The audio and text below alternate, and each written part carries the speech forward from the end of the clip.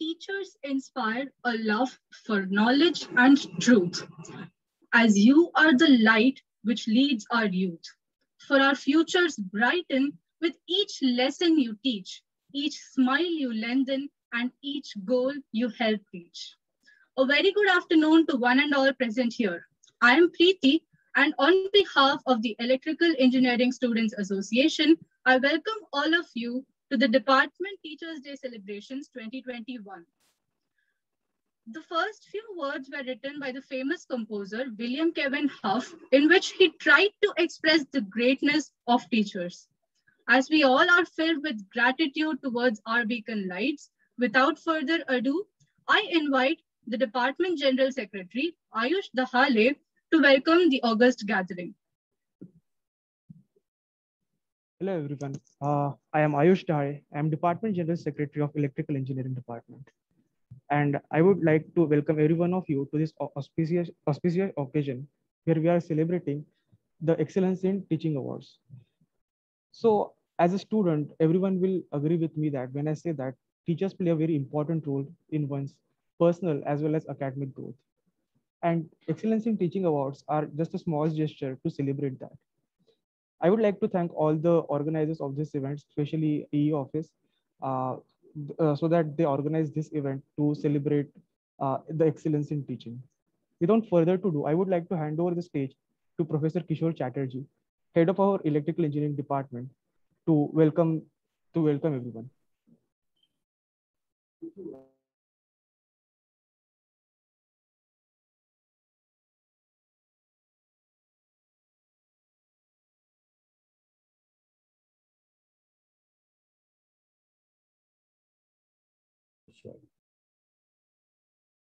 Uh, thank you, Ayush. Uh, respected Chief Guest, Professor Koilpillai, my dear students, staff, staff members, and uh, my colleagues. We are really thankful to Professor Koilpillai for accepting our invitation to grace this occasion of our department as the Chief Guest. I'm also thankful to the Electrical Engineering Students Association for taking the initiative to organize this event. Let me also formally and physically congratulate my five colleagues who have won this award. It is my pleasure and privilege to welcome you all to this momentous event of our department, wherein we felicitate our colleagues who received the Excellence in Teaching Award. This Excellence in Teaching Award is a very special and unique kind of an accolade because it is decided solely by, by our own students and that too anonymously. No administration, administrators, no peers are involved to select these awardees. Awardees are chosen based on the feedback received after the conclusion of a course offered by your colleagues across the institute. I would like to take this opportunity to convey to my dear students that we, the faculty members, take the course feedback provided by you very, very seriously. Once we received the email from the Dean Academic Affairs mentioning that now you can see your teaching feedback, I must say, actually it happens to me. I really get tensed to open the link to see how you have graded me. I'm sure the feeling remains the same for my other colleagues as well. And more importantly, we look forward to what you have actually written as comments. Look, uh, these comments are very important for us. They prepare us properly for the next offering of the subsequent course. I would therefore earnestly like to request all students to provide your opinion objectively and diligently and in large numbers. Of late, what we are seeing is that the number of course feedbacks have, uh, are plummeting over the years. Please give your feedback in large numbers. Professor Koilpillai Currently, our department is having around 1100 students, out of which 700 are postgraduate students, which means over the past three to two decades, our character has changed from a teaching and research institute where uh, T was a, is, is a, is, is a uh, the font of T is around 20 to a research and teaching institute with a very big R and T has remained the same. I'm sure this is true for other IITs as well. Although research has become an integral component of our focus, we have not diluted the intensity of our teaching. We firmly believe that if we don't meaningfully research, we'll not become and also will not be able to produce good teachers. And if we don't teach well, we will not be able to generate good researchers with whom we can engage ourselves to bolster our own aspiration to do well in research. So the motto of our department has remained to be research, teaching, and research. Sir, I take pride to say without any hesitation that our department is a very progressive and a democratic one without having any sort of hierarchy existing between the seniors and juniors. Even a student can walk into the office of the head without any prior appointment if she or he desires. I have been observing and obviously enjoying these ethos since I joined this department. COVID has taught us many things of life in a very, very hard way. We have lost many of our near and dear ones. The students and teachers have learned or still are learning how to learn, teach, and interact in online mode. The greatest challenge is how to conduct laboratory sessions, especially those labs which are having a hardware component. Our Wadhwani Electronics Lab, this is the group of laboratories uh, where experiments pertaining to microprocessors, analog and digital electronics, mainly for undergraduate curriculum are being conducted. They came up with a unique solution. This is again an example of great camaraderie that our department possesses. Young and senior faculty members came together, prepared boards which can be powered and controlled from the USB port of laptops or PCs, taking help from our own laboratory staff members. They shipped these boards to the residences of the students. The students performed experiments sitting at home during the slots allotted for those specific labs, taking instructions from the concerned, concerned faculty members hats off to these colleagues and the dedication shown by our laboratory staff members. Once the semester got over, the students returned back those cards by post to the department with almost zero loss. We are moved by the responsible behavior of our students as well. For control and machines lab, we have no other choice but to run the lab in the video mode. Students are not, not really happy, but we are still working on it. Coming to the tissue, uh, coming to the issue of teaching in general, I would like to hear your view on, on an aspect which is bothering me, maybe others as well. Due to the significant increase in the class strength, these days we are taking more and more help of teaching aids, be it in the form of pre-designed slides, be it animation, be it some live videos, be it the concept of flipped classrooms, so on and so forth too much reliance on technology? Is it snatching away the subjective element that a teacher used to possess in the backdrop of a blackboard? And the follow-up question is that, is it reducing the ability of imagination of the students? I would conclude over here, but, but before I do so, I would like to invite you to visit our department in person whenever SOP of COVID permits it to happen so that we can exchange our thoughts in a more meaningful way. One more point to share with you, sir. When I sent the mail to the students and to my colleagues mentioning that you have agreed to be the chief guest of today's event, within half an hour, I got an WhatsApp message from Professor Kumar Appaiah, which says, uh, do you think I can introduce Professor Koilpillai? He was my DDP guide. This speaks a volume about you, sir.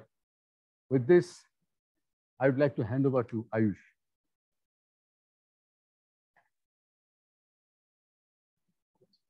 Thank you very much, sir. I uh, indeed feel truly blessed to be a part of such a great department as described by you. Uh, moving on, uh, we are incredibly privileged to have with us the chief guest for the day, Professor David Koilpillai, Qualcomm Institute Chair Professor and also Head of Department Electrical Engineering, IIT Madras.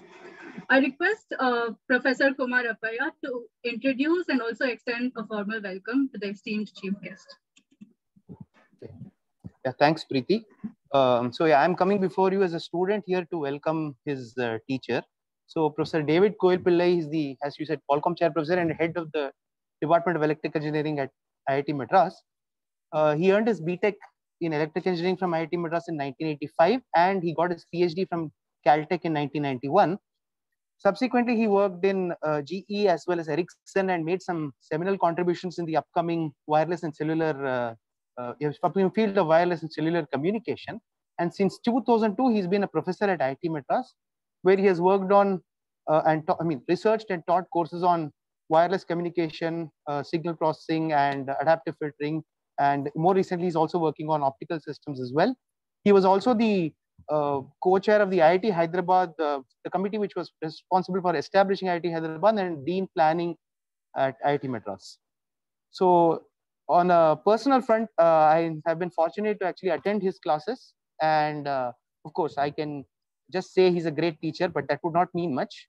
Uh, but his classes and the way he taught are firmly etched in my memory because he taught us the very popular wireless communication course and it had all aspects of theory practice as well as uh, industry you know because he drew from his vast industry experience and made it quite relevant in fact i re distinctly remember that uh, one of the assignments was for us to go all around IIT Madras campus and measure the wireless reception of various providers and you know create a map of cellular coverage in the campus so it was a really fun exercise.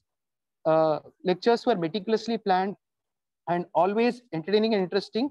And uh, the more important thing is he was always polite to a fault with students, extremely nice to students, and always, uh, you know, uh, you know, pleasurable to approach. And uh, he always entertained all questions, and always, you know, there have been occasions when he actually would uh, take questions and sometimes come to the next class and then give us the answer. And you know, it would be really, really fun to have those discussions with him. And uh, like Professor Kishore was mentioning, I was also fortunate to have been guided by him. And I think it would be uh, correct to say that he's among the key motivators for me having taken up this job. So, sir, like Professor Kishore, um, I wish to welcome you, but I really uh, have this firm request that you should visit us when times are better. And I we look forward to hosting you here in person as well. Thanks for coming, sir. Yes. Thank you very much, uh, Kumar. And uh, really, it will be my honor to come and visit IIT Bombay. I have uh, been there many times, but uh, you know, post COVID, definitely will take up on the uh, invitation from Professor Chatterjee and from yourself. So let me let me begin by sharing my slides, and then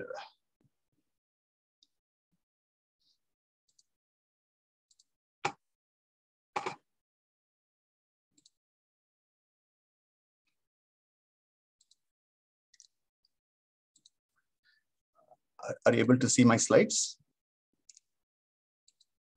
Yes, sir. Okay. So um, with your permission, uh, Professor Chatterjee, I, I will begin. Uh, sure, sure. Professor Chatterjee, Professor Kumar, winners of the Excellence in Teaching Award, faculty colleagues, students, ladies and gentlemen. It is uh, an honor for me to participate in today's event.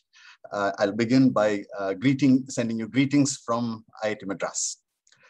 It will be fitting that I begin by expressing hearty congratulations to all the winners of the Excellence in Teaching Award, Professor Chandorkar, Professor Fernandes, Professor Nair, Professor Pal, Professor Singh. And many of them are well known to me. So uh, again, it's a joy to be a part of this program and to share with you uh, a few thoughts. I commend the Students Association, Electrical Engineering Students Association for this initiative you have taken to uh, felicitate these outstanding teachers. So uh, I've uh, titled today's presentation as uh, Reflections of a Teacher. I'd like to share with you some of my perspectives as a teacher uh, as we in the IIT system collectively face the challenges of recovery of our academic processes post the pandemic. These are multidimensional challenges However, the solutions that we must come up with are must be contextual, and I'm sure we will be creative uh, in finding the right solutions for our institutions and for our department. So what's on the top of our minds, topmost as teachers? What has been the impact of COVID? How will we recover in terms of our teaching systems, in terms of our research programs? And I'm sure that the commitment that all of us who are on this meeting, our commitment to the IT education system, that we will find solutions to every challenge. But I believe it will be hard work. Let me begin with an article that appeared in September 2017. This was in the uh, magazine, the, the Atlantic. Uh, it was an article by Jean Twenge. The title of the article said everything. It said, Have smartphones destroyed a generation? And I believe there were uh, uh, statistics like the one that we have on the right, which says even by the year 2015, uh, more than 40% of the young people were having sleep deprivation. And then it went on to uh, highlight several issues that uh, led to asking this particular question. I believe when, uh, when, when, this article did come out, there was a lot of discussions at IIT Madras. And I guess the consensus view was that uh, even back in 2017, that smartphones were causing tremendous amount of damage. And then comes COVID and uh, our dependence on the smartphone becomes even more. And I assume that uh, sleep deprivation and other challenges have gotten worse. I wonder where maybe another article is going to come which says, now it's no longer a question, but a statement which says smartphones and COVID together have destroyed a generation. But I believe that we as uh, academics, as part of the IIT system, must bring something different. We must bring to the table something different. So let me, let me illustrate this uh, with an example. We must uh, be united in our response. We must be uh, very, uh, uh, very focused in our response as well. Now, uh, if you look at along the coast of uh, United States, uh, in the state of North Carolina, there is a lighthouse called Cape Hatteras. It was built in the year 1870. It was all, it's almost 200 feet tall, one of the tallest brick lighthouses uh, in North America. It is uh, very strategically located because it is where the uh, Gulf Stream and the Labrador, the, the current meet. And it's called the graveyard of the Atlantic because of dangerous currents and shallow waters. Cape Hatteras played a very important role for over 100 years, warning ships of dangers in that area. In uh, 1870, now there was a threat to the lighthouse because when it was built in 1870, it was 1,500 feet away from the ocean. But because of soil erosion and the rise in the, in the ocean waters, now the, the lighthouse was only barely 120 feet from the ocean edge.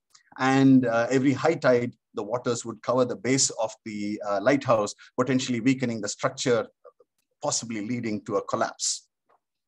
There was a lot of discussion. Uh, this is a lighthouse that's no longer needed because now this is the era of GPS and satellite navigation.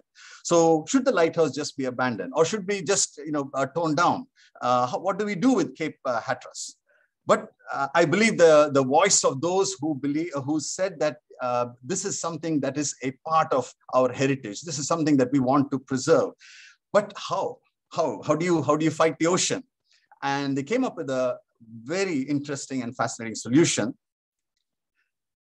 A 50 lakh kilogram lighthouse plus foundation was placed on rails by putting the rails underneath and then eventually moved inch by inch 1500 feet into the into the into the land and today, that's where it stands. Uh, and I, I, believe the forecast is for another 100 years, it will stand as a symbol of what the lighthouse stands for. So in the same vein, I, I believe post-COVID, we must preserve what is important to us. Like the lighthouse, there are things that we hold very dear to our hearts.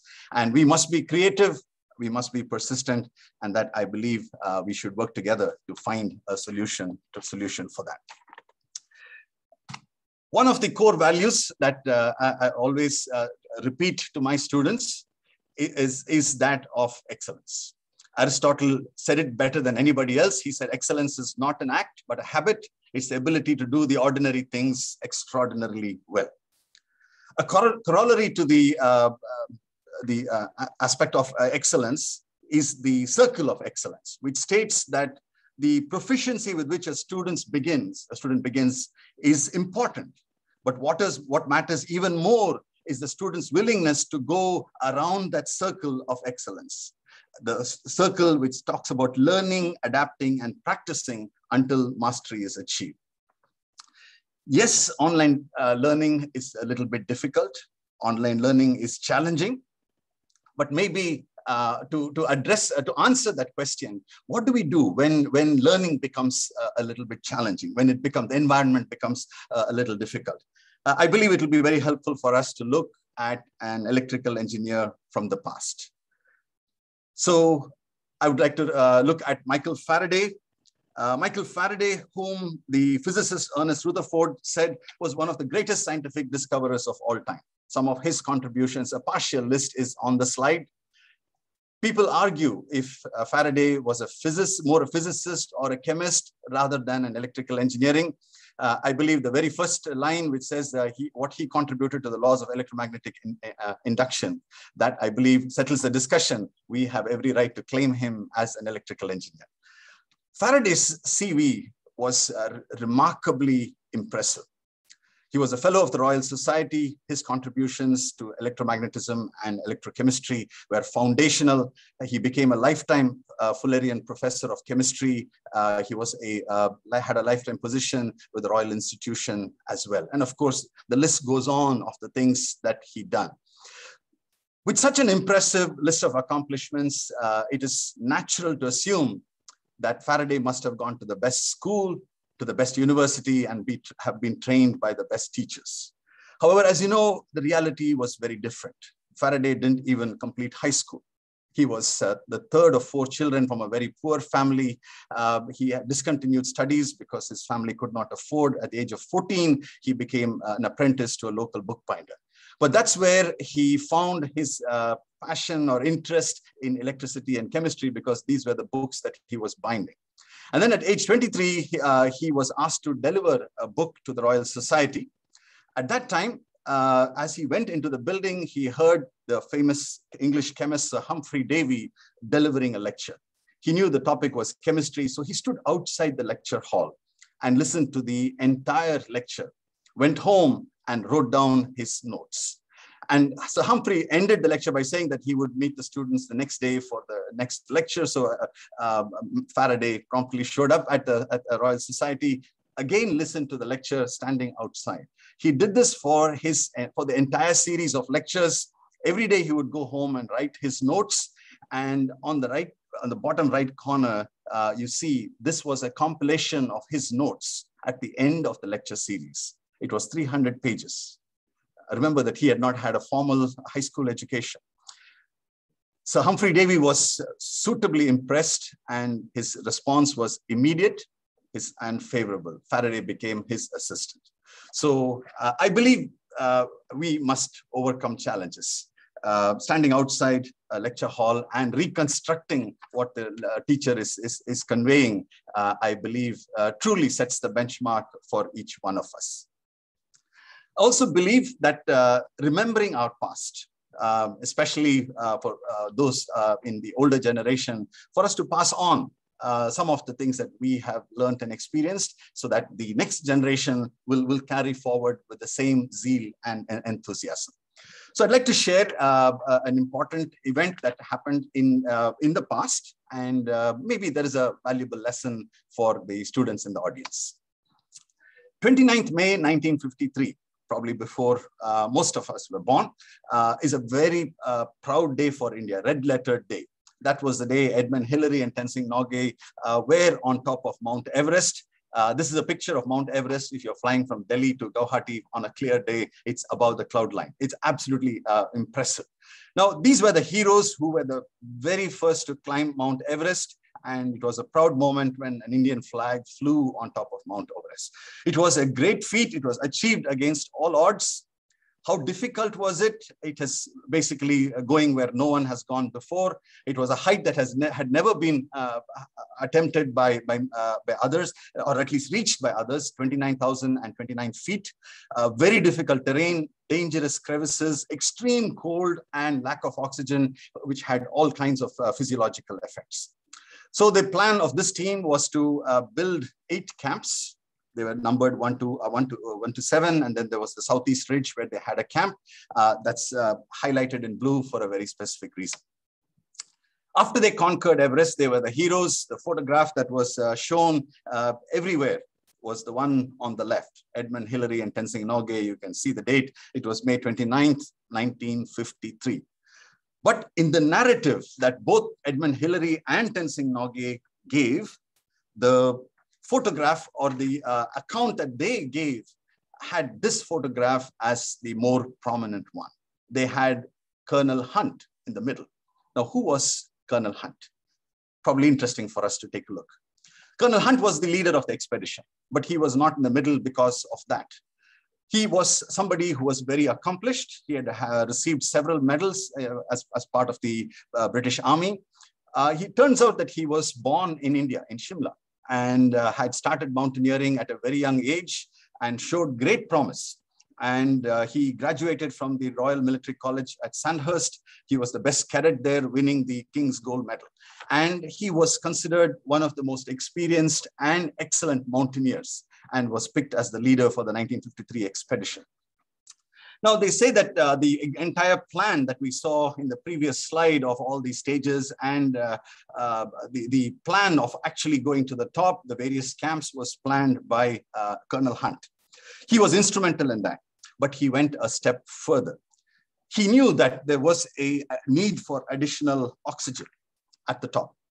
So one thing that he did, which uh, many times is forgotten uh, in, in the excitement of uh, uh Edmund Hillary and Tenzing Norgay's accomplishment, is that Colonel Hunt, along with the Sherpa, carried additional cylinders of oxygen up to the highest point at which they could go. That was the Southeast Ridge at uh, 27,395 feet. And he did something that no one expected him to do, was to leave his own oxygen cylinder back the, at that camp for Edmund Hillary and Tenzing Norgay to use. Now, that's a level at which you cannot manage without oxygen, but he decided to do that and actually came down to the next base where he would, of course, get oxygen, but he collapsed, uh, reaching, reaching there, but was then revived. What do I want us to take away from here? It is always good for us to remember those whose hard work and sacrifice have helped us to reach where we are today we must honor the Colonel Hunts. And I'm, uh, con I congratulate the Electrical Engineering Students Association that you have recognized the faculty and those who have sacrificed to make IIT Bombay what it is today. As a teacher, as I reflect, one of the things I believe uh, COVID has taught all of us is to adapt because none of us knew what the circumstances would be and has taught us to adapt in ways we could never even have imagined. I always ask myself the question, uh, have we adapted in the best possible way? Have we taken the full opportunity to adapt? Because you know that is essential for us. And this reminds me always of a very valuable lesson that all of us must remember, especially uh, those in, in, in the field of engineering and, and research. In our generation, we grew up with cameras that had film. And to those who were part of that generation, this logo meant something very, very special. Kodak was the undisputed leader. They were the best in class. Their products were absolutely the top of the line. The best photographers produced photographs like this and thousands more. And they were the best photographs I could even say of all time. Kodak had a very impressive portfolio, as you can see, not only the products, they also had the best photo processing technology built over decades of experience. But the question is, where is Kodak today? The one thing that Kodak did is that they underestimated the need to change with technology. They underestimated the pace at which film cameras would be replaced by digital cameras. So as we look back at Kodak and appreciate what they have contributed to the science of photography, we also remind ourselves, what happened to Kodak? Who killed Kodak? The question is often asked. The, the statement is technology killed Kodak. But people who know the company say Kodak killed Kodak they did not see the change that was coming. They did not change fast enough. And I believe this is there's a very powerful lesson for IITs. We are the best in what we do, but the world around us is changing. The question is, are we adapting, innovating to stay the leaders, even in this new phase, in this new era? Something for us to think about. I believe COVID has also been, in some ways, a system reset for us. Something that we did not anticipate, but something that has come and has caught us all by surprise. Now, what is a system reset? A system reset is something where you can apply new initial conditions. It's a new start. Maybe it's even an opportunity to do things a little differently. So as I look back on the last uh, maybe 18 months since March 2020, we've been through periods of partial lockdown, total lockdown. Uh, coming into the department sometimes felt very eerie. There were no students. Departments were shut down, labs were closed, nothing. There was no sign of life. But I believe that this is, in some ways, a system reset for us. And uh, what does what does a system reset allow us to do?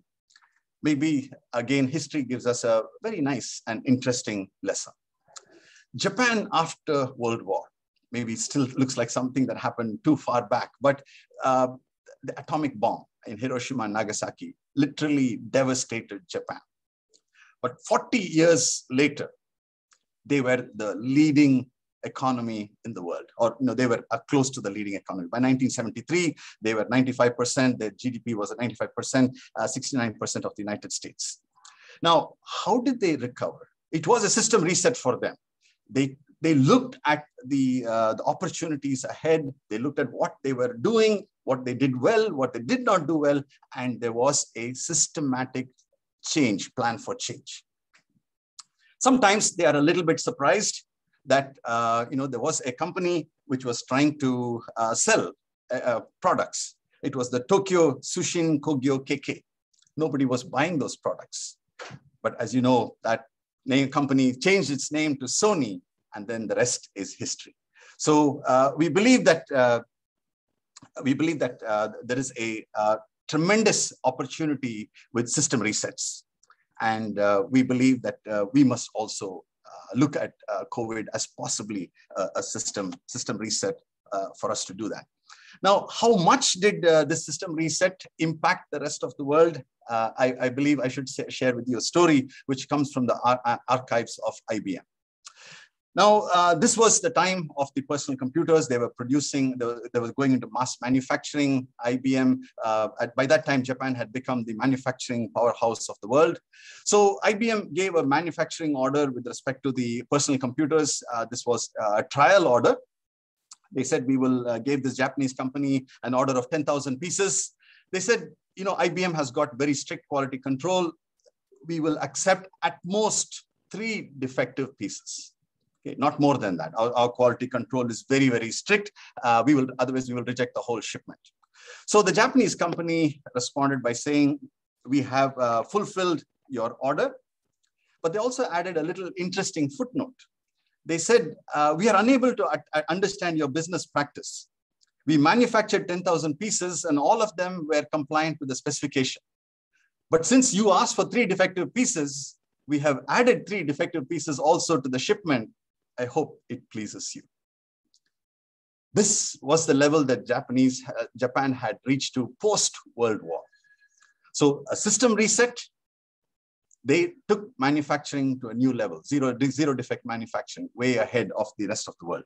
So if, if this uh, COVID is a system reset, what is my perspective as a teacher? What would I wish? One thing that would change would change uh, so different that uh, IITs would be, would be benefited by that. So I, I thought about this question uh, for a long time, and I believe I have an answer for you, and I will, I will share that in, in, a, uh, in, in, the, my, in my next slide.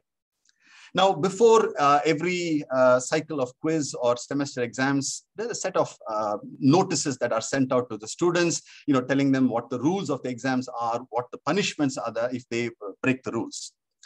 Now, here is a uh, excerpt from a circular that goes out with every uh, exam that is conducted. Circular 3D, 3E, 3F, they're all there. I would like to, you to focus on 3F. It's called graded punishments for students who indulge in unfair means. Now, look at some of the bullets. You will be punished if you possess the answer book of another candidate. You will be punished if you are passing an answer book to another student. You will be punished if you are impersonating another person writing the uh, to write the exam on behalf of somebody else. And I, and I look at my, I, I, I, I look at it and I ask myself the question, is this IIT? Do we really need this in, in the IIT system? Do we need rules like this? Aren't we all about excellence? Are, are, have we somewhere along the line, uh, have we have things have been compromised? Maybe a system reset is good for us. Maybe we can, uh, we can take this on. Uh, my first uh, exam as a graduate student, you know, went to the classroom. Uh, everyone, all the students were there. The teacher came in and announced saying it's a three-hour closed book exam. Distributed the question paper, said you can go anywhere you want. You can write it in the library or in your uh, dormitory room. After three hours, just draw a line, come and submit the answer paper. And then the professor left. I actually was, was very surprised. I asked the student sitting next to me, he said, does he really mean you can go anywhere? Uh, he said, yeah, you can go anywhere and write. I said, what if, what if students cheat? The answer I got back was, no, the students will not cheat because students have come up with an honor code. Maybe a system reset is time for us to, see, uh, to ask ourselves the question, uh, can we, can we re re reset it to a point where we, we sort of once again uh, revisit the excellence that is part of our DNA so that we can state with certainty excellence with integrity. That's what we, that's what we. I would like to end uh, with a true incident from my own life. I would like to share with you what uh, a teacher taught me, my uh, school teacher my, my high school taught me. Uh, during our student days, it was very uh, common for, uh, for students to go and ask your classmates and teachers to write in your autograph book. So these are the words that my seventh standard teacher, her name was Mrs. Pepin, uh, she wrote in, our, in my autograph book. It was words from the heart. It said, success in every undertaking, achievement that is record breaking, never ending quest for what is right, doing all in God's own might, reaching for things good and true, a teacher's earnest prayer for you. Very touching words.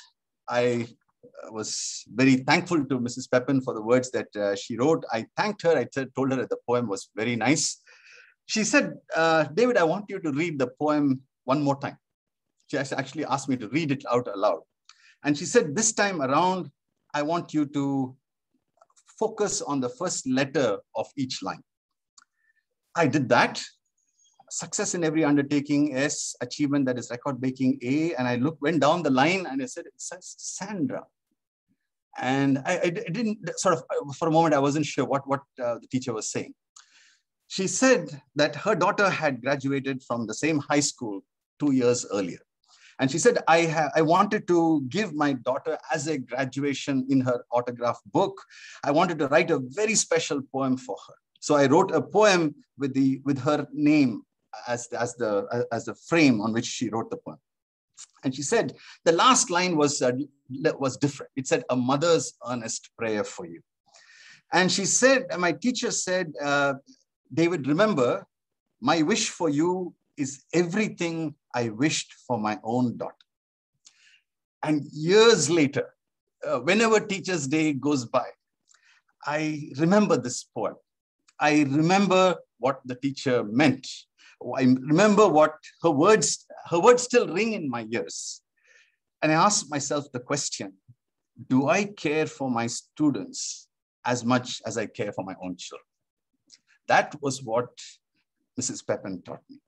So I believe I would like to close by sharing with my faculty colleagues something that we all know, that students will care more how much we know once they know how much we care.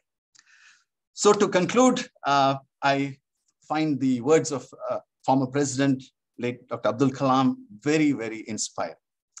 He said that we must have the courage to give, the courage to think differently, the courage to invent, the courage to discover the impossible, courage to travel into an unexplored path, courage to share knowledge, courage to remove pain, courage to reach the unreached, courage to combat problems, and above all, the courage to succeed. I believe this is the clarion call for every teacher, every student in all the IITs, and specifically for those at IIT Bombay.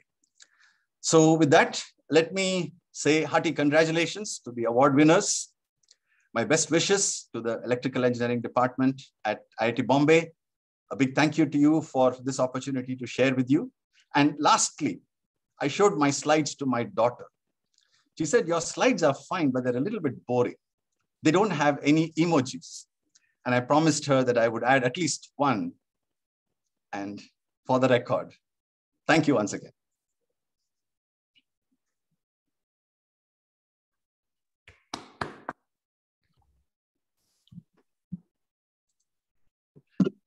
Thank you very much, sir. And um, as as every other teacher, in, in 30 minutes, you have made use of the time as, as the best.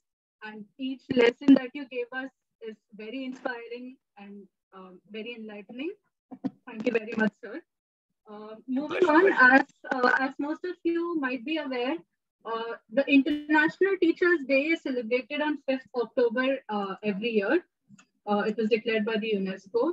So just quoting another quote of uh, Dr. APJ Abdul Kalam, teachers are the backbone of any country, the pillar upon which all the aspirations are converted into realities. It is truly a proud moment for us, the students, when our favorite teacher's hard work is being recognized. So therefore, today is uh, therefore a good, uh, a joyous occasion because uh, five of our faculty members have been awarded the Excellence in Teaching Award uh, for the year 2020-21 for their exceptional commitment towards teaching. Our hearty congratulations to Professor Mukul Chandorkar, Professor B.G. Fernandes, Professor J.K. Nair, Professor Debasattam Pal, and Professor Virendra Singh. Uh, now comes the event that most of us were pretty much excited for, the felicitation. I take this opportunity to first introduce Professor Mukul Chandorkar, a postdoctoral fellow from the University of Wisconsin, Madison, USA, with, works, with work experience in highly reputed companies, including ABB Corporate Research Switzerland and Soft Switching Technologies Corporation USA, along with varied research interests. He's undoubtedly one of the most experienced faculties in our department. Without further delay, I would like to invite Emmanuel Williams to express his gratitude towards Professor Chandorkar. Thank you very much. Um, so I did the course Power Electronics 2 last semester under Prof. Mukul Chandorkar. And uh, the experience was extraordinary. Uh, so despite the online mode of instruction, uh, Sir took a lot of efforts to keep our interests up and running in the course. And uh, what I liked the most about this, uh, about the way he taught was whenever he introduced a certain concept or some uh, or an idea, he would always bring some trivial information regarding the inventor or the discoverer. And this is something that I liked a lot.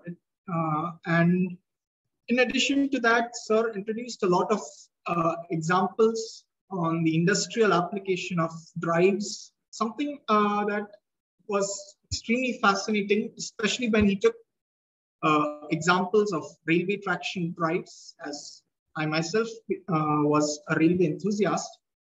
So once again, congratulations for this award and God bless all your future endeavors. Thank you.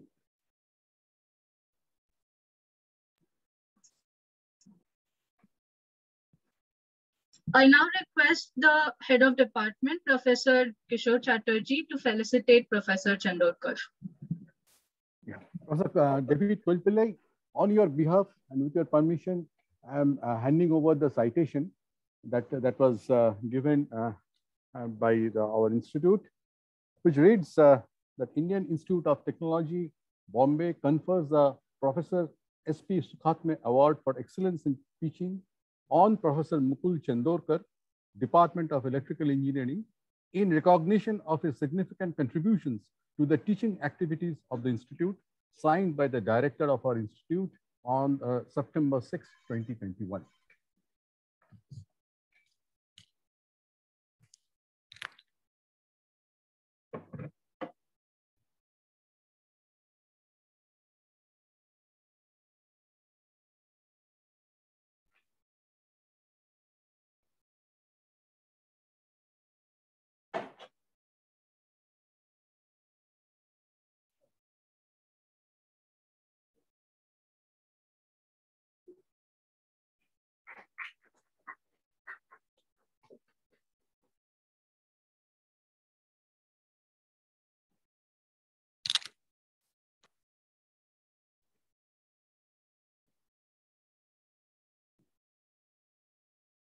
So before uh, Mukul uh, addresses the audience, so I'd like to share one uh, wonder that I have. So I have never uh, seen Mukul to raise his voice. So the wonder is that how he controls the whole uh, class of 100, 120 students without raising his voice. It's really a wonder. Okay, over to you. Well, thank you, Kishore, for that uh, very kind observation. I myself don't know the answer to that. Um, also, first of all, thanks to the Electrical Engineering Students Association for organizing this. It's really nice of you to do this for all of us, for the entire department. Um, and thank you, Professor Koilpillai. I mean, this is, it was really nice listening to your, uh, your talk. But before I proceed, I, I need to figure out whether I'm audible. Can, it's okay. Yeah, fine. Okay. Yeah, thank you, Professor Koilpillai, for, uh, for the great talk that you gave me. Of course, I've met you a couple of times in IIT Madras as well as in IIT Hyderabad. It was really a great exchange that, that I've had with you uh, in, at that time. So now, uh, so first of all, I mean, about the EE department out here, uh, I've had, uh, I've been associated with the EE department here since 1979, first as a student, uh, then after a long break back as a faculty member. Uh, and there's been, as, as Kishore was saying earlier, right from the earliest time that I have known the department, uh, we have always had this tradition of having no hierarchy and having had really good relations with our students. I mean, the very often the the the, the demarcation between uh, the well, faculty and student communities does get blurred, and I think in in the larger sense, it's a good thing from the academic viewpoint. And the other thing that we've always had in the department here, and not and also generally in IIT Bombay, is uh, that we've been surrounded by good people to emulate, and that has helped a lot of us in many aspects. And I, I found that I mean, a, a, a particularly you, a special quality to emulate from people that have been around in IIT Bombay over that long period of time has been empathy and the genuine desire to ensure that you do get across to the students, to all the students in the class, uh, and sort of ensure that uh, they also follow what uh, you, have been trying to you, you, are trying to say uh, not only the a few students in the class but the entire class. So that has been uh, something that i've seen in all the uh, best teachers that i've had in iit bombay as well and i think that is one quality that will remain a constant regardless of whatever resets and contours the future of our education system is going to take post COVID and all and with technological advances and things of that kind. That one quality I think is not going to be uh, lost out in importance. Uh, the other thing that we have going for us in the department is the quality of TAs. Uh, I've always had good TAs uh, and uh, of course students and Emmanuel was uh, sort of kind enough to say that he enjoyed the class, but it is very reciprocal. I have also enjoyed, uh, I mean, interacting with students like him and uh, others in the class as well. So thank you, Emmanuel, for, for that.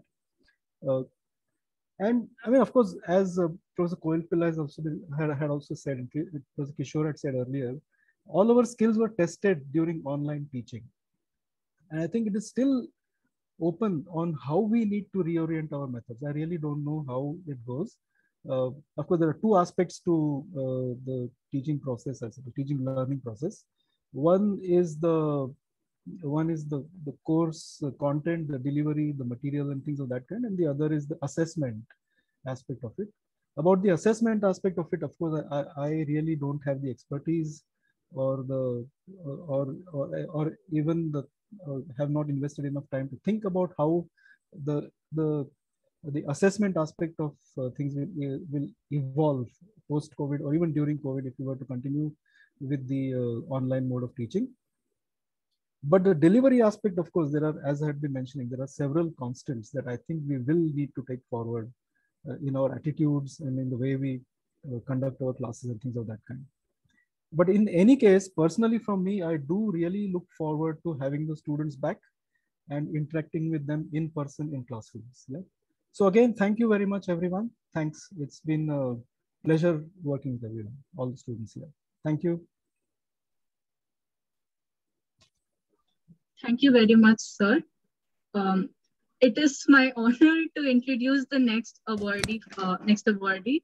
Um, his was the first lecture I ever had in IIT Bombay. So uh, Professor Baylon G Fernandes, former head of Department of Electrical Engineering Department, has pursued PhD from IIT Bombay.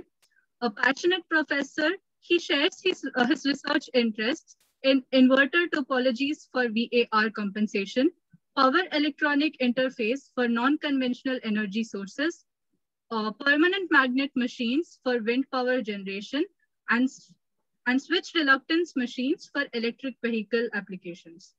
I now call upon Aditya Anvakar to share his experiences with Professor Fernandes.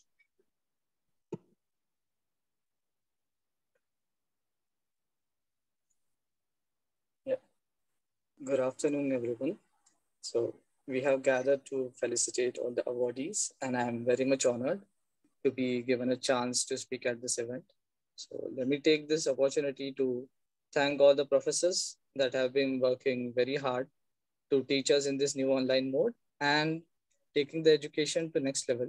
This year uh, was certainly giving us tough times, but our professor have surely been a ray of hope. I have been fortunate enough to have studied under guidance of Professor BGF, not once, but twice. And as Preeti said, even my first lecture was under Professor BGF, and he is quite learned and experienced in his field, which reflects in his teachings. So I recall that the first lecture of our DIC taken by Professor BGF, he told us about various aspects of future and what we are in for. And by the end of the lecture, we were quite motivated and inspired for spending the next four or five years of our life at the Institute. So he taught us with great diligence and he put in great effort and he is genuinely concerned with our learning and our development, which in fact encouraged us all to work harder and put in more efforts. Even in this new mode of education, with the challenges of conducting labs, he made sure everyone had enriching experiences where we got to learn great amounts it had been it has been a great learning experience so far and i look forward to learning more from him as well as other faculties in e department in person from next semester. So last but not the least i would like to end my oration with this small quote. If you're planning for a year sow rice if you're planning for a decade plant trees. And if you're planning for a lifetime educate people. And with a great efforts every day, our professors are creating new leaders and innovators each year. Once again, I heartily congratulate all the professors for receiving the Teaching Excellence Award. Thank you.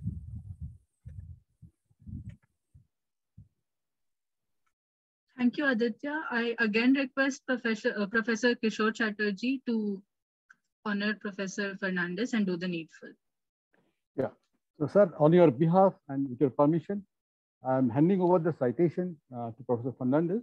It states that uh, Indian Institute of Technology Bombay confers the departmental award for excellence in teaching on Professor Baylon G Fernandes, Department of Electrical Engineering, in recognition of his significant contributions to the teaching activities of the Institute, signed on September 6, 2021 by our Director of the Institute.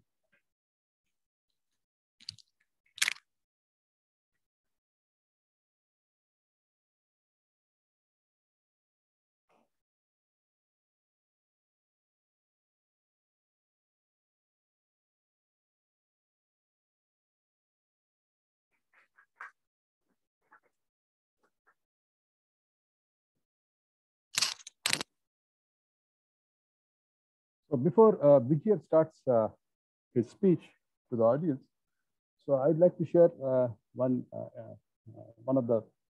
So BGF has proved a notion wrong, and the notion is that a teacher is popular if he is malleable, if he is accommodative.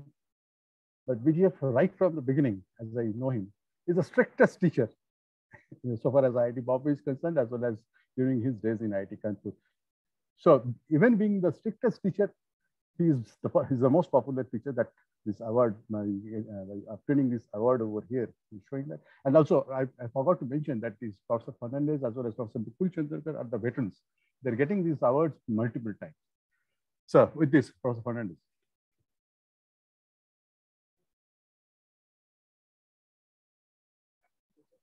Yeah, uh, your. Uh,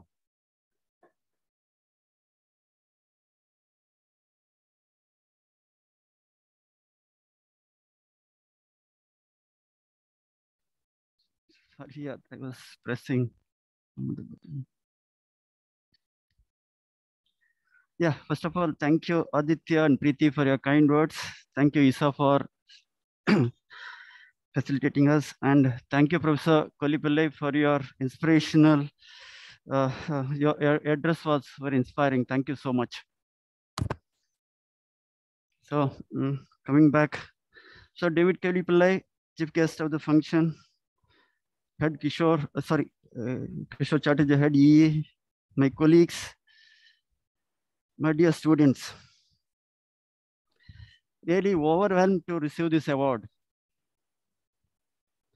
Words fail me to respond for this award. I will try my best. So it was a gloomy afternoon and I was hurrying for a meeting with the dean R&D and my mobile rang and reluctantly I took the call. My colleague had called me to congratulate for winning this award. I couldn't believe it. Finally, I looked up to heavens and thanked him and saying, nothing is impossible for you, Lord. Yeah, uh, I'm delighted to receive this award, but wasn't expecting for, for many reasons. Honestly, trust me. It's not that I don't love teaching. I love teaching and that's the reason I'm here. The reasons are many. The first one is I don't want to repeat what Mukul and Kishore said. Our E department is known for teaching, and there are many very popular teachers. And what happens is in the electrical department, whenever a young faculty member joins the department, he or she jumps the queue for this award with their good teaching. So we have heard many young faculty members in the recent past. So therefore, my turn was not in mind at all. Second was Kishore was talking about the teaching feedback. Yeah, it wasn't very glorifying either. I had to face the acquisition of quote unquote terrorizing the students for conducting uh, surprise quizzes or asking questions in the class. So one possible reason that or maybe responsible is I had an excellent set of TS last semester when I taught E 123. They were Amar Kushwa and Jensen. And Amar was cut above the rest. He could conceive some excellent demo experiments. And at the end of the experiment, the students said, sir, the lab component of energy systems was the best among the lot. There were five modules, analog, digital, control, uh, signal processing, and energy systems.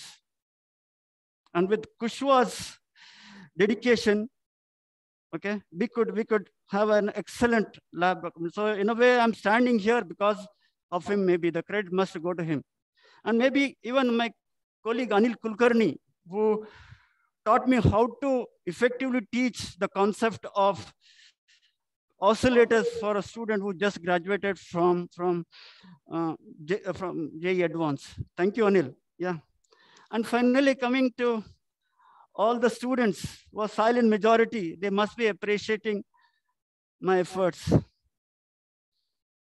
I'm always driven to do my best, and then I let God multiply, uh, God magnify the efforts. This has seen me through life so far and keeps me strong and motivated every day. Okay. I thank all my students for putting up with me. I look forward to teaching you all once again in the classroom. Till then, goodbye. Thank you so much.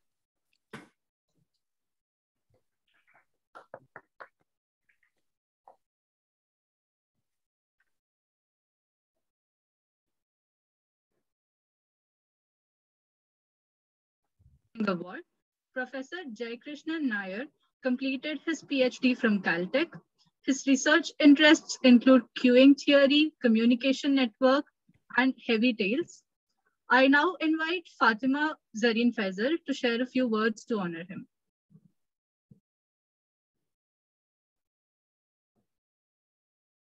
Um, good afternoon, everyone. I am Fatima Zareen Faisal, a fourth year dual degree student specializing in CSP. Uh, the first class I ever took under Professor Jaykrishna Nair was when he took over for a week in E223. Uh, needless to say, that was one of the best, well-organized lectures I'd ever had till then, which was surprising because he wasn't even supposed to teach this course, but the lecture was still top-notch. Uh, before the start of this semester, I had been thinking of taking a real analysis course under the math department, but when I saw that Professor Jaykrishna Nair was offering E759, I had no doubts as to which course I should take because I had also done E210 under him before, and that was one of the most popular UG courses that we've had so far, which is saying a lot because people actually regularly showed up for class just to listen to the lecture and not just for attendance.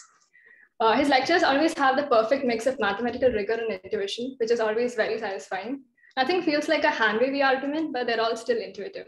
And did I mention how well organized his lectures are? They build upon previous concepts in a very well structured way, and they all tie together at the end in a very satisfying manner.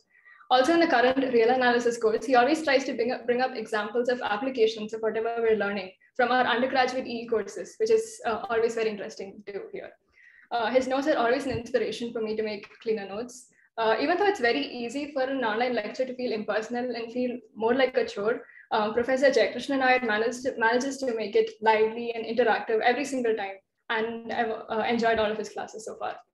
Uh, I have also worked with him uh, on a research project for about a year now. And as a research advisor, he is pretty much the best. Uh, especially when I'm stuck at some point or I cannot figure out some concept, and even otherwise, of course. I always look forward to our weekly meetings because even when I sometimes think that the whole problem is impossible, he always he always finds um, some small thing that I have overlooked, which shows a lot of promise. He also always encourages me to formalize my arguments in a succinct manner as much as possible, which is very important while doing research, in my opinion. Uh, his deep intuition about the problem statement always comes in handy and is something that I aspire to have uh, within me uh, in my career. Uh, I would like to conclude by thanking the department for providing me this opportunity to thank Professor Jaykrishna Nair for being an amazing teacher and research advisor, as um, this is not a topic that comes up in our usual meetings. Uh, even though I was invited to talk about uh, my experience with Professor Jaykrishna Nair, I would also like to congratulate the other awardees and thank them and all the professors here for your dedication to making even online lectures something to look forward to. Thank you all for your time and have a great day.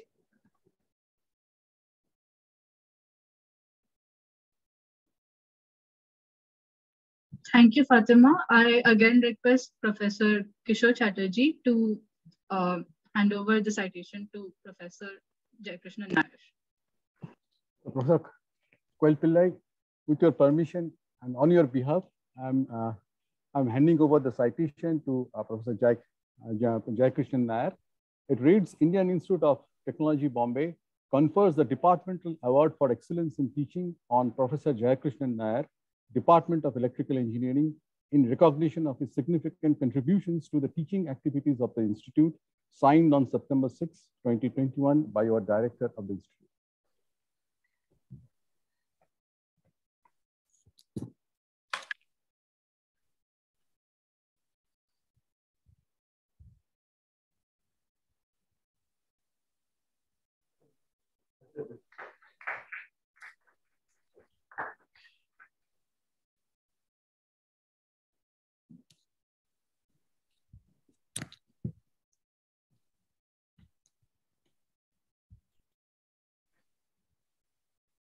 So before uh, JK settles down to uh, deliver his speech, so I'd like to uh, mention that uh, I would like to aspire to become as articulative as JK, because the most articulative person that I can see is JK, and not only that, he's always bubbling with energy.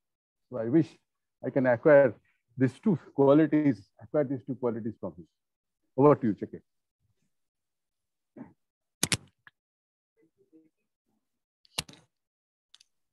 Ah, well, uh, thank you, KC. And uh, uh, I, is it, am I audible now on the microphone? No? You can hear me on the microphone, right? Yeah. great. Yeah, thank you. Thank you, Professor uh, Chatterjee. Uh, uh, th thank you, Professor uh, Koilpillai. That was a, you know, uh, the past year and a half has been, uh, yes, a non-trivial, uh, stress-inducing experience so far as, you know, teaching online and adapting to this experience is, is concerned. And so, uh, yeah, your, yeah, your address was certainly, uh, certainly a booster uh, that was much needed. Uh, thank you also to the Electrical Engineering Students Association for organizing this. And, um, you know, having studied as a student uh, from BGF himself, uh, it's, it is uh, gratifying to, to receive this right after him. Um, yeah, I don't have much to say except to, and thank you, Fatima, of course, for those, for those, for those words. It's, the i mean i would just like to communicate that yeah the feeling is mutual it's, it's precisely working with you know bright students like yourself that actually makes this job whether it's teaching or working on a research problem you know fun uh, yeah i don't have much to really uh, you know, say at this point except that uh, you know to borrow uh, a line from a colleague it is really the students here that keep one honest. Uh, you know had it not been for the fact that uh, you know i i I mean, I, I I'd like to think I put in a reasonable amount of effort before I show up, you know, for every class that I deliver. But that's also because the few times that I haven't, uh, you know, I've seen how disastrously things have gone. Right? That's because the audience that one teaches is fairly demanding, and so it's it's really uh, you know teaching smart and intelligent students who will not let you go without a coherently explained idea or you know something an intuition that is half baked it is teaching a demanding audience like this that makes this job uh, fun right so again thank you students for uh, for keeping me honest and uh, yeah that's I have to say thanks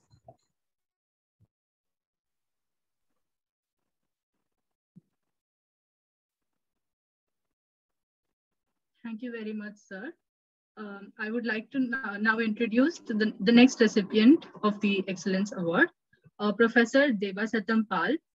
An energetic professor, he has been working in IIT Bombay since 2014. His main area of research in is systems and control theory. More specifically, his areas of interest are multidimensional systems theory, algebraic analysis of systems, dissipative systems, optimal control and computational algebra. I request Imrul Quais to speak a few words about him.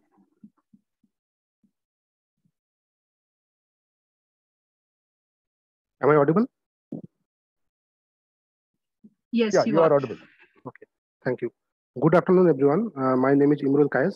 I am a PhD student, PhD student in the Control and Computing Group, and Debasattam sir is my advisor. First of all, congratulations to all the recipients of this award. I know Debasattam sir since 2014 when I started doing my MTech.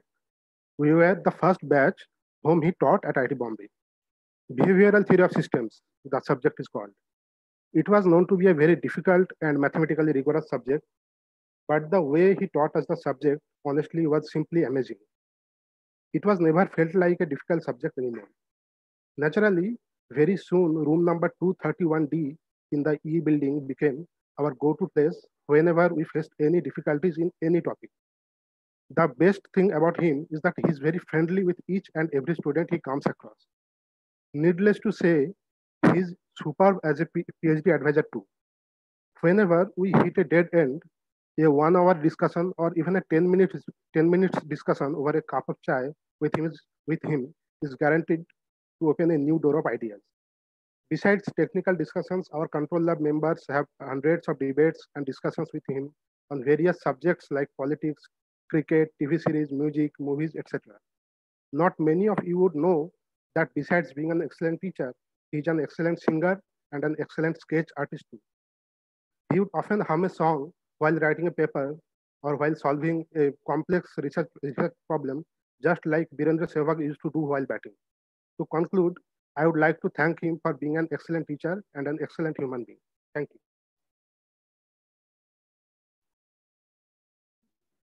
Thank you, Imrul. Again, I request Professor Kishore Chatterjee to um, felicitate Professor Virendra Singh. Professor Koil with your permission and on your behalf, I'm handing over the citation uh, to Professor Debasattam Pal, which reads, Indian Institute of Technology, Bombay confers the Departmental Award for Excellence in Teaching on Professor Debasattam Pal, Department of Electrical Engineering, in recognition of his significant contributions to the teaching activities of the Institute, signed on September 6, 2021 by the director of our institute.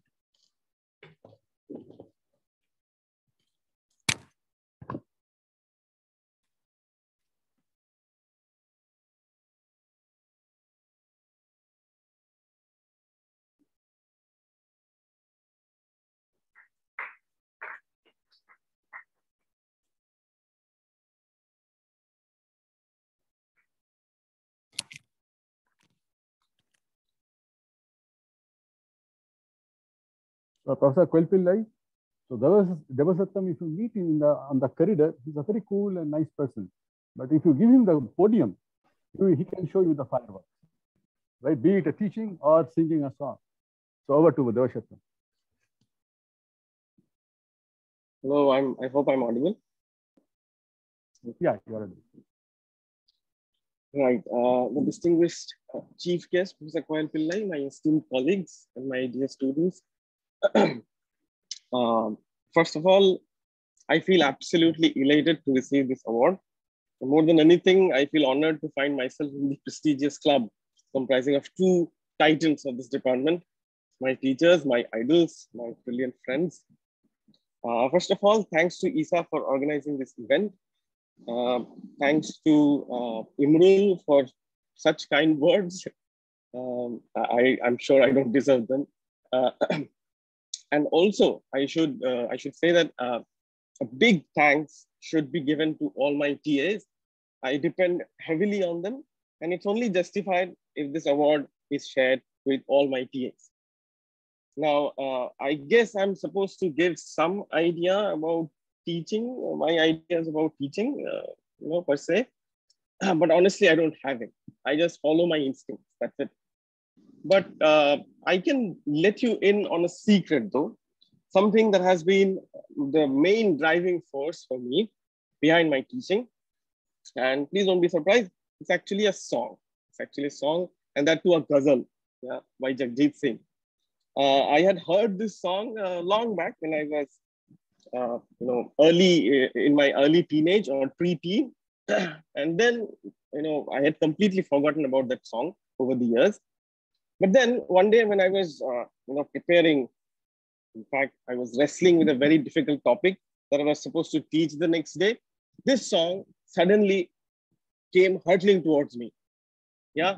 And since then, I'm constantly haunted by this song. You know, the sole motto of my teaching is to ensure that this phrase, this the, the phrase that is there in the song, does not apply to me.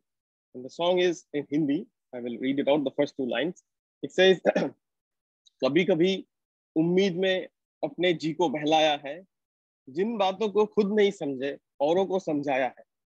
So I always try to make sure that this doesn't apply to me okay now if I understand the system correctly this award is based on the students feedback score so to be honest I owe everything to the students and I have been singularly lucky to have absolutely great students throughout my career so far, be it the students in my course or the students that I have been, you know, lucky to guide, or the ones that I'm currently, you know, uh, uh, guiding. And uh, you know, to end, I mean, everything set aside, awards and all. The true reward for me has been those unforgettable moments when I would get a mail from a past student perhaps now doing higher studies in a glorious university in a far off land, saying, thanks, Debu, for teaching us Hilbert's Nullstellensatz. I'm using it in my research now. Yeah, thank you. Thank you. all.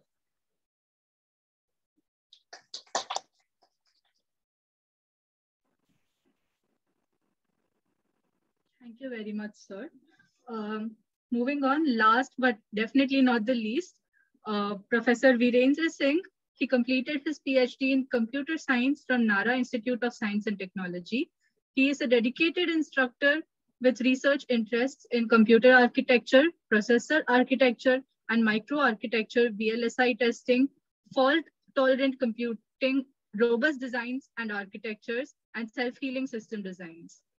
Uh, I call upon uh, I call upon Nayan Berhate to express his gratitude uh, to him on behalf of all of us. Hello all. I am Nayan Berhate, a fourth year dual degree student, and I have registered for every course possible under Professor Virendra Singh. It's an absolute honor that I have been called forth to congratulate him on receiving the Excellent Teaching Excellence Award. Like most of my batchmates, I had my first interaction with Professor Virendra Singh in my fourth semester. And his down to earth attitude is what resonated with me the most. Time used to roll on so quickly in his lectures that I never felt the need to check out the time when he was teaching. The interest I developed post lectures drove me to dive deeper into the topics. His passion for research with ever broadening interest in various domains fascinated me and motivated me to convert from a bachelor's program to a dual degree program. I have deep appreciation for how he binds together, he binds everyone together in the CADSL group, celebrating everyone's milestones along the way. Professor Virendra Singh made me realize the true meaning of Gyanam Paramam Dhyayam, and I thank him for that. Let us all congratulate Professor Virendra Singh once again for his spectacular achievement. Thank you. Thank you, Nayan. Um, I again call upon Professor Kishore Chatterjee to congratulate Professor Virendra Singh and um, felicitate him. On your behalf and on with your permission, I hand over the citation to uh, Professor Virendra Singh. It states that Indian Institute of Technology, Bombay, confers the Professor S.P. Sukhatme Award for Excellence in Teaching on Professor Virendra Singh, Department of Electrical Engineering, in recognition of his significant contributions to the teaching activities of the Institute, signed on September 6, 2021 by the Director of our Institute.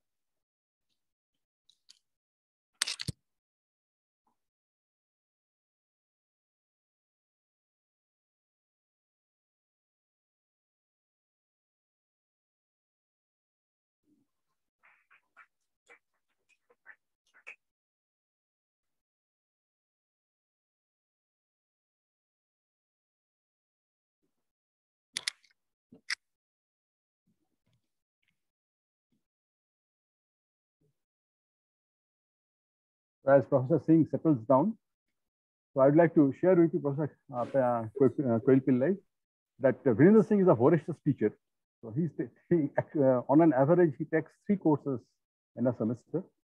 And also he's known the way he conducts his endsem. The endsem problem is an uh, open-ended problem. And also the duration of the endsem used to be an, uh, is, a, is an open-ended duration. Right, so that means it starts at 6 p.m and uh, it's uh, uh, it's free for the student. But when the last student, maybe the last time the last student, I I think left around 6 uh, a.m. in the next morning. So that's why that is how Virendra Singh is known to us. So over to Virendra Singh.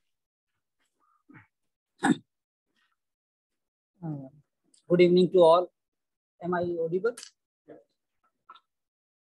Uh, today's uh, chief guest, Professor Koilpillai, uh, Professor uh, Chatterjee uh, and all other recipients of this award, our colleagues and students.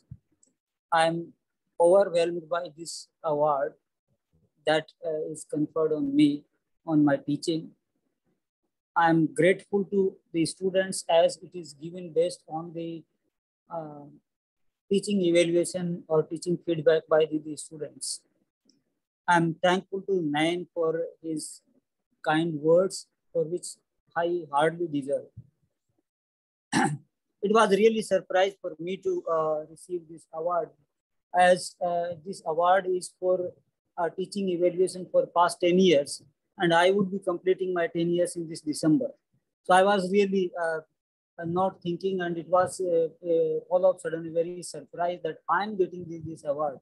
So this is uh, a, a, pleasant surprise for me and i'm again thankful and i will put my whole hearted effort to improve my teaching in years uh, in future. Uh, see i had interest in teaching and i was uh, with IISc Bangalore and almost 10 years ago, I decided to come to uh, IIT Bombay uh, with my teaching motivation to teach young, bright BTech students as IISc did not have BTech, uh, BTech program, only uh, the MTech programs. And I really thoroughly enjoyed my teaching over here. Uh, as Professor uh, Chatterjee said that I taught three to four courses per semester and all courses which I taught, at least I enjoyed. And hopefully some of these students also enjoyed. Of course, always you get mixed kind of feedback from uh, students. Some people, some students may not uh, have uh, enjoyed that much. I tried my best and uh, hope that that uh, I will be uh, continuing with this.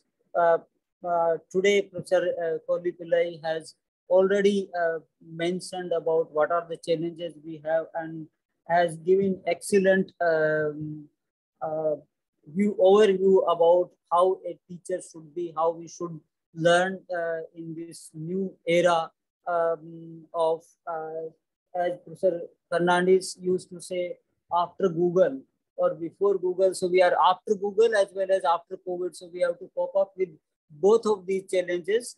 Hopefully, we will uh, retrain ourselves uh, like the, the lighthouse case uh, Professor Pillai has uh, presented, uh, and we will learn uh, from those challenges and won't put ourselves on, say, place of product, but then we will innovate ourselves and try to do our best to uh, to contrib contribute better. Um, so with this, I thank uh, all my colleagues for supporting me. I dedicate this uh, award to my teachers who uh, happen to be, be really excellent teachers. Uh, and I that's why I motivated that uh, uh, if I do some, I mean, uh, some work in that case, first my job would be the, the teacher. So thanks.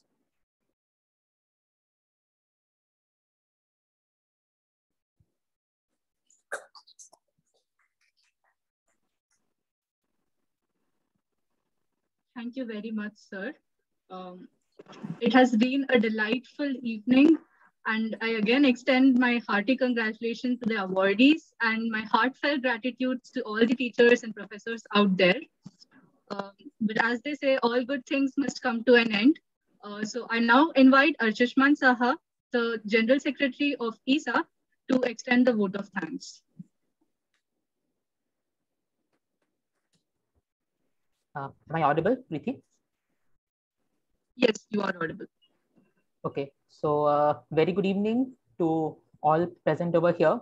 So on behalf of uh, Electrical Engineering Students Association and the entire organizing team, I would first like to thank our esteemed chief guest, Professor David Koilpillai, for taking time out of his busy schedule to grace our event with his presence and his kind words.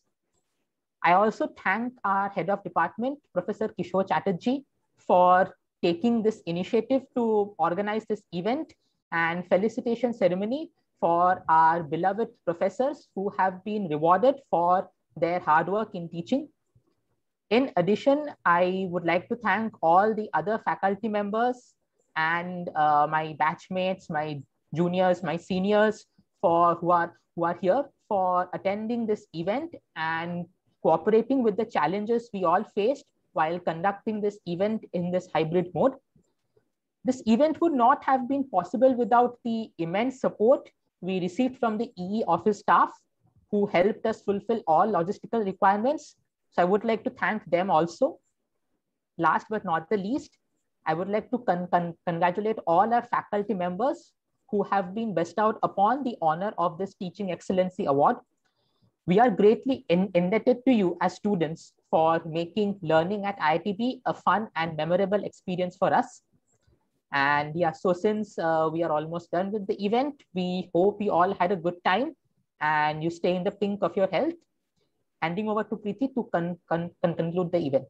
Thank you. Thank you, Archishman. I would like to conclude the event with uh, a powerful quote from Malala Yousafzai, uh, which aptly shows the importance of teachers in our life. Uh, it says, one child, one teacher, one book, and one pen can change the world. Once again, a very happy Teacher's Day. and hope you all have a great evening. Thank you. Thank you, Priti. Thank you. Thank you, Professor Koikpil Pillai. So we'll meet in person next time. Pleasure, Professor Thank you. Okay, thank you very much. Thank, Thank you. Thank you, Professor. Thank you. Bye. Oh, Thank you. Bye-bye. Thank you, everyone. Bye.